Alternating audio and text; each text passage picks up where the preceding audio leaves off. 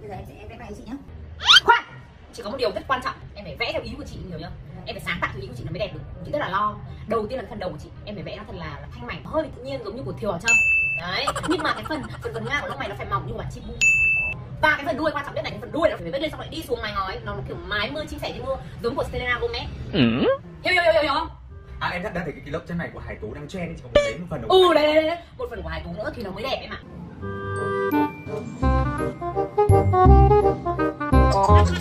ok giờ em vẽ xong rồi bây giờ mình cùng nhìn nhé chị nhá.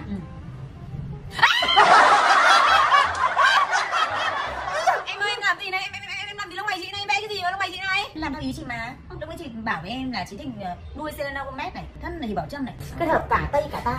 Em phải vẽ một cái con rồng đầu châu Á đuôi thì châu Âu.